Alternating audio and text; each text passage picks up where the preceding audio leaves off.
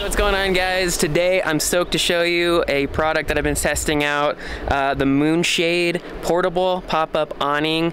Uh, I have been wanting one of these for a while. It's been out for a little bit and I finally got my hands on one. The folks over at Moon Fabrications were really cool and sent me one out to try and show you how it works. Um, really excited to uh, be using it. It's summertime, perfect time to have some shade in front of the van when we're out camping. Yeah, it's really versatile. I've seen it used not only on vans, but on several other rigs. So above the cab, there's some built-in storage that the ProMasters have, and it just stows away up there perfectly, and uh, I'm, I'm really loving it so far. So uh, let me show you what it can do.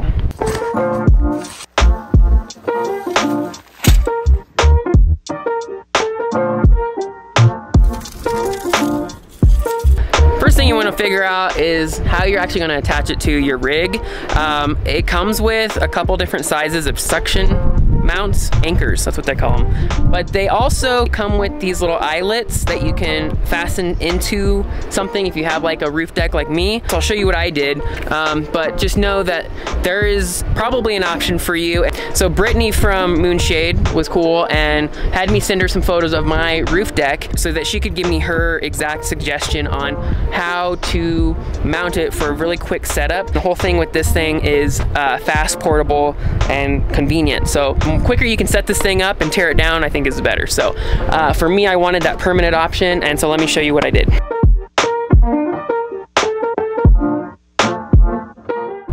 All right, so welcome to the roof, and we have the first eyelet here, the mounting point. I went ahead and drilled a pilot hole and just screwed this in. And uh, let's go over to the front. And then here's the one that they sent. It's a little smaller, and it's more of like a screw. This was definitely a little, little experiment to figure out the spacing. But anyway, that is what I did. All right, so I actually found that uh, putting the poles in before you attach it is so much easier, and I read that on uh, Barefoot Theory blog as well. So that's what we're doing now.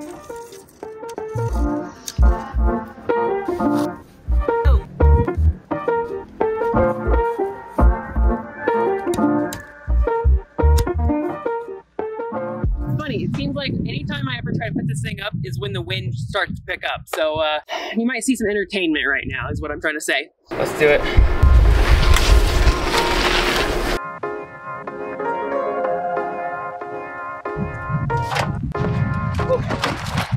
Here's the uh, built-in carabiners that come in. That's where they click in to your mounting points. All right, there you go, just like that, clicks in there.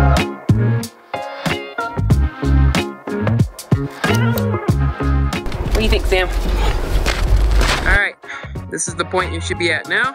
All right, so now we just add the two support poles and uh, you'll see this thing come to life.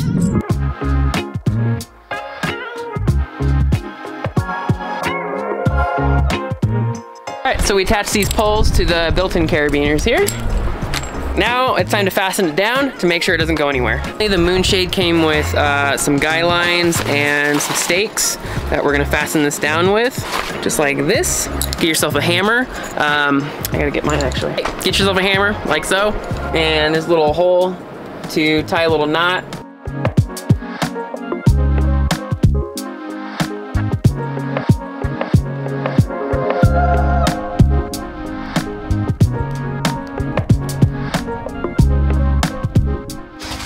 Then they say to pull it 45 degrees out towards the, uh, out away from the van. All right, and in classic Colorado fashion, we got a random big giant cloud and some wind. So uh, the sun is gone, uh, but the moon shade is up. if you have any questions, hit me up in the comments down below. What do you think? What do you think about the moon shade? Do you have one? Have you wanted one? Uh, or if not, what kind of awning do you use? Do you think awnings are necessary or not? Uh, for me, I really love this. Uh, I'm excited to have a little patio situation. Uh, it just kind of is that little extension of the home on wheels and it just makes it feel that much more like home. I am gonna leave a link in the description box below where you can have a discounted rate, uh, $30 off of the Moonshade if you wanna try it out for yourself. Thank you guys so much for watching. Uh, subscribe for more lifestyle travel videos from myself and Sam. I'll see you guys in the next video. Peace out.